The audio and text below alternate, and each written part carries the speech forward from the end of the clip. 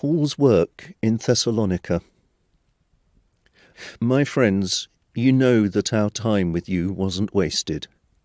As you remember, we had been ill treated and insulted at Philippi, but God gave us the courage to tell you the good news about Him, even though many people caused us trouble. We didn't have any hidden motives when you won you over, and we didn't try to fool or trick anyone. God was pleased to trust us with His message.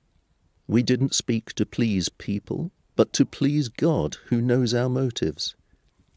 You also know that we didn't try to flatter anyone. God Himself knows that what we did wasn't a cover up for greed.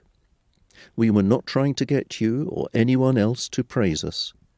But as apostles, we could have demanded help from you. After all, Christ is the one who sent us. We chose to be like children or like a mother nursing her baby. We cared so much for you, and you became so dear to us, that we were willing to give our lives for you when we gave you God's message.